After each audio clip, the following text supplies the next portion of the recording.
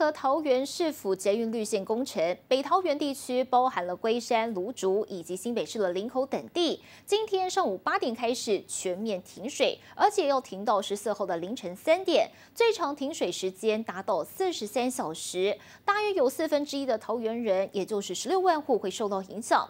而市府也在三十四处地点设置了饮用水站，来提供民众就近取水。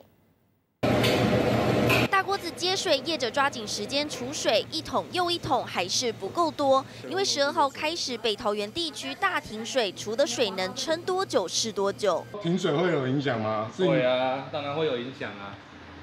可是因为我们的水塔不知道能撑多久啊，能撑能能做几台是几台吧。影响蛮大，因为最主要就是除了我们一般店家的用水的不方便以外，再就是相信用民生必须一定是也是会影响蛮大的。台水公司配合市府捷运绿线工程，从十二号上午八点到十四号凌晨三点，共三天停水，最长停水时间来到四十三小时。停水区域有桃园市龟山、芦竹、巴德等区域，以及新北林口、泰山、五股等地区。停水户数多集中桃园市，总影响约十六万户。一连停水三天，业者就怕水不够用。停水到停一天嘛。